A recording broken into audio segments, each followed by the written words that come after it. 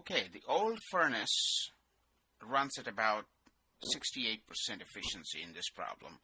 This is 5.6 and um, the old furnace runs at an efficiency of E equal to 0.68 and we have the actual cost per unit price or unit fuel which is one dollar two cents per gallon.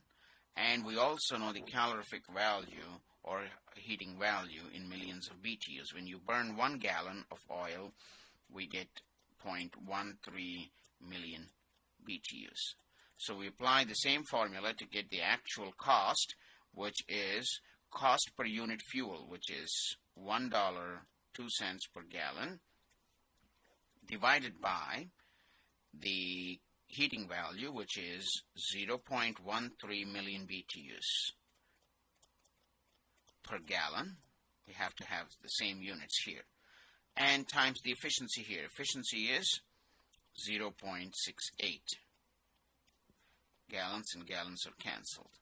And we get this one as $11.50 per million BTUs.